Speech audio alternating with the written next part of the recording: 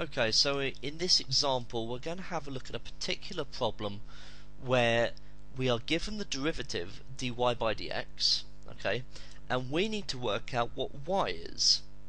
Now, as we know, by integrating, we're given um, a constant of integration, okay, so we can't pinpoint an exact equation for y unless we are given a particular point that the graph passes through.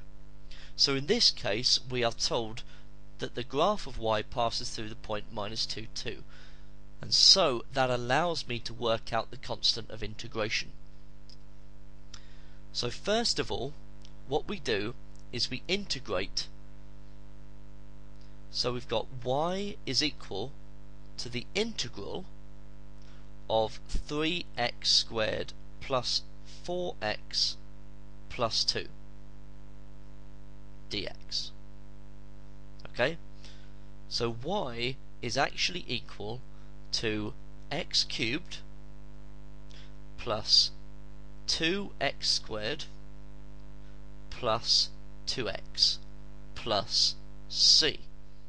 Okay, so there's that constant of integration coming through. Remember, you need to include it because this is an indefinite integral. Now this passes through the point minus 2, 2. Okay, so I substitute in minus 2, 2. So y is 2, x is minus 2, so x cubed is minus 8 two lots of minus 2 squared is plus 8. And two lots of minus 2 is minus 4 plus c.